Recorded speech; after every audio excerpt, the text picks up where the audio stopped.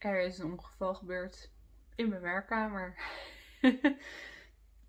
er is namelijk een cactus gevallen van het kastje. En ik zal even laten zien. En ik zal ook laten zien hoe ik hem weer ga redden in deze video.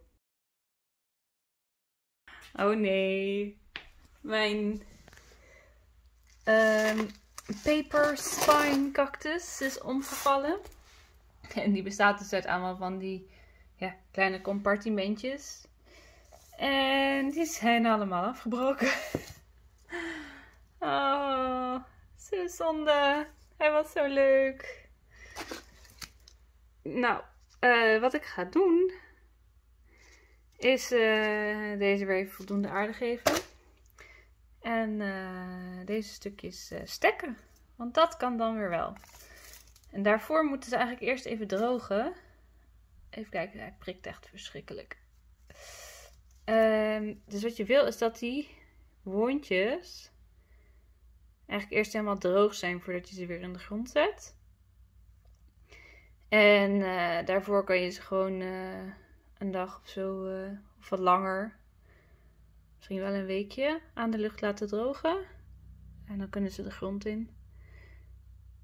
Dus kijk, deze bestaat nog uit drie stukjes.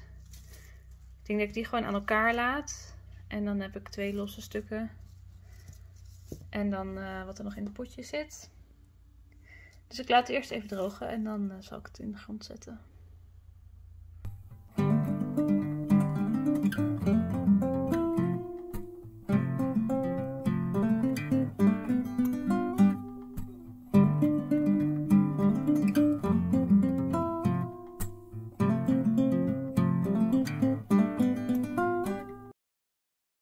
Die paar dagen tot een week is inmiddels een maand later.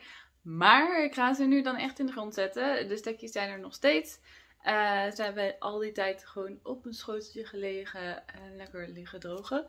Ik heb mijn stekjes.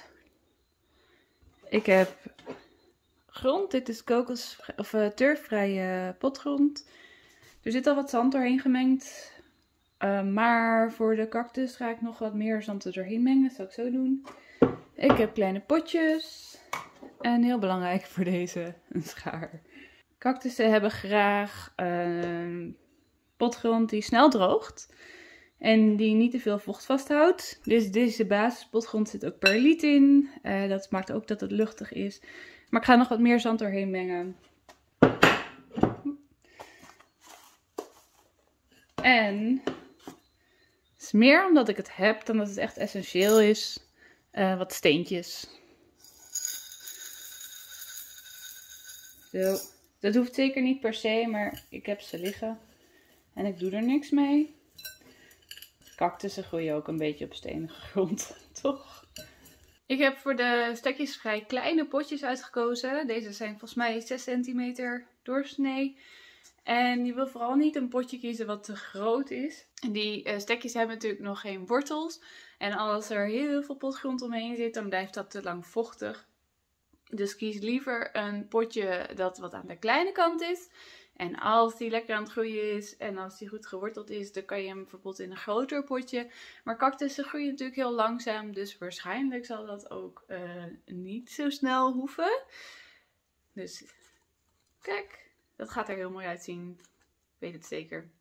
Uh, wat wel even belangrijk is, is dat ik die stekels wat afknip. Want zoals je ziet, steken die alle kanten op en zorgt die er ook voor dat het stekje niet zo goed uh, in het potje kan staan.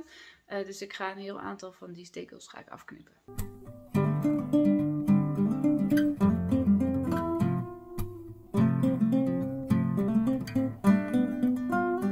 Kijk, die wondjes die eerst open waren, die zijn nu heel mooi dicht. Ga ze even scherp stellen. Ja, die zijn nu heel mooi dicht en gestoten, dus dan kunnen daar weer uh, wortels uitgroeien.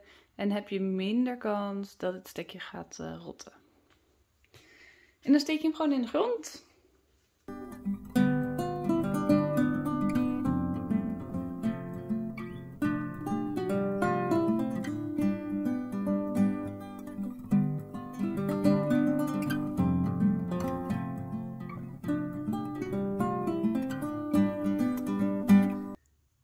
Zoals je ziet is deze onderste knol, ik heb hem even op skop, dit is de onderste, is al vrij ingedroogd. En dat was omdat de plant, ja het is winter en in de winter krijgen mijn cactussen geen water.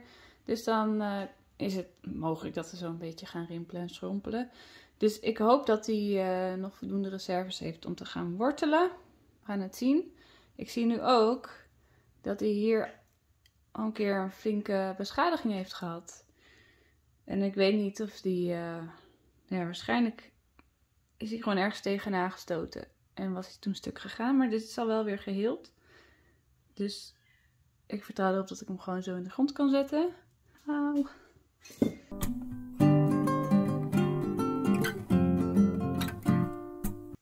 Ik duw ze voorzichtig een beetje aan, zodat ze wat steviger in het potje staan en niet zo wiebelen. Zo, dat zijn alle stekkies. Ik ga de moederplanten nog even aanvullen. De moederplant, nou ja, wat daarvan dus nog van over is. Die staat wel weer lekker in de potje.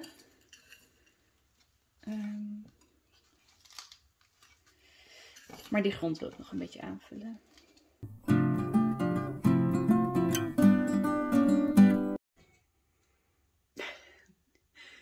De meest gevaarlijke stekjes ooit. Ze prikken heel erg, deze plantjes.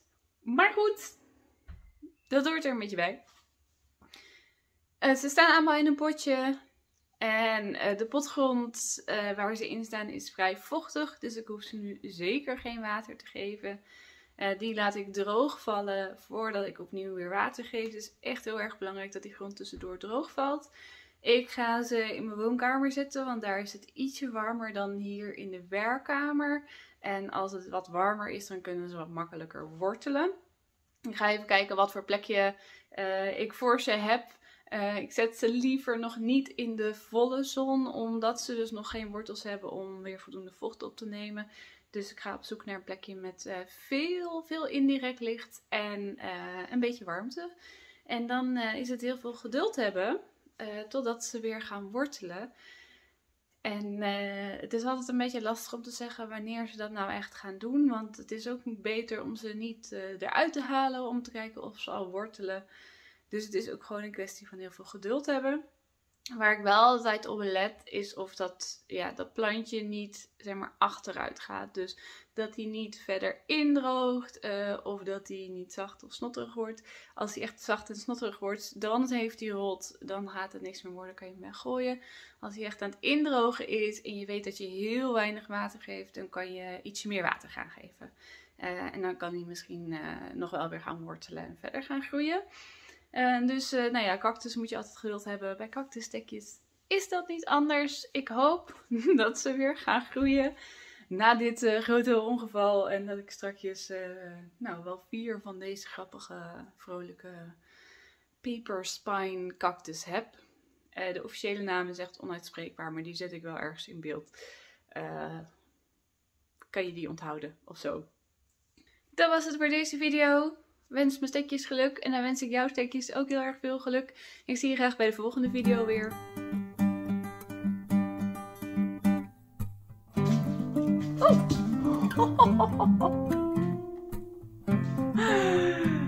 Oké, okay, hij valt eruit.